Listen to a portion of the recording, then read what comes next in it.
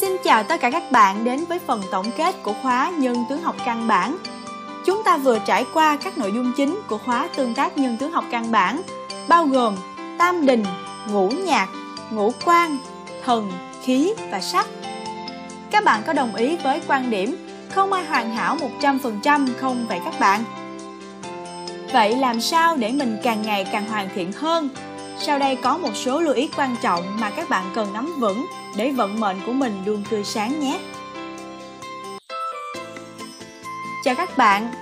Thực sự mà nói để chính bạn hoàn thiện hơn, đó là thay vì chỉnh chu nhan sắc bề ngoài thì bạn hãy rèn luyện tâm, tướng để thay đổi vận mệnh. Vậy ta rèn luyện như thế nào? Rèn luyện ra sao? Làm sao?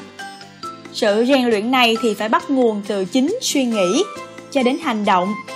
Vì chỉ có suy nghĩ, hành động thường xuyên điều gì thì điều đó sẽ trở thành thói quen. Mà khi trở thành thói quen rồi thì à, chúng ta rất khó để thay đổi đó các bạn. Mà thói quen tốt thì à, sẽ giúp cho chúng ta được rất nhiều.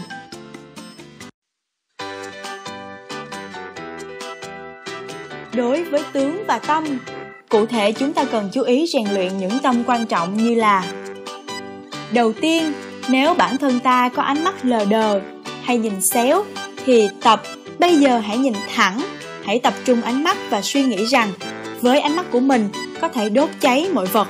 Wow, nghe thật là ghê nhỉ. Thứ hai, nếu có sắc mặt như người say thì à, làm thế nào hả các bạn? Nhậu xong đi massage thư giãn phải không? Không đâu nhé. Nếu sắc mặt như người say thì hãy giảm ăn nhậu, tăng tập thể dục, thể thao cho da thịt săn chắc nhé.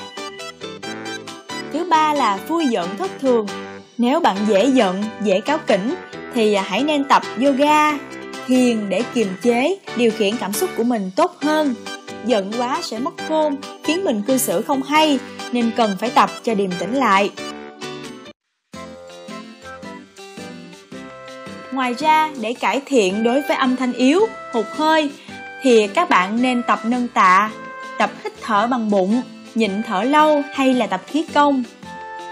Với người thường có lời nói khó hiểu thì à, chúng ta làm gì ta? Luyện tập ra sao hả các bạn?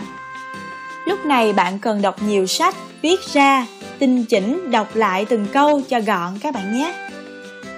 Đã có bạn nào thấy bạn mình đi gì mà nhanh à, có dáng người đi đứng như chim sẻ nhảy nhót hoặc ngược lại có dáng đi trì trệ nặng nề thì nên tập thở tập đi đứng từ tốn nhẹ nhàng và khi đó các bạn có thể luyện tập về học võ, học đứng tấn hoặc các bài quyền giúp cho hoạt động thanh thoát bớt nặng nề các bạn nhé.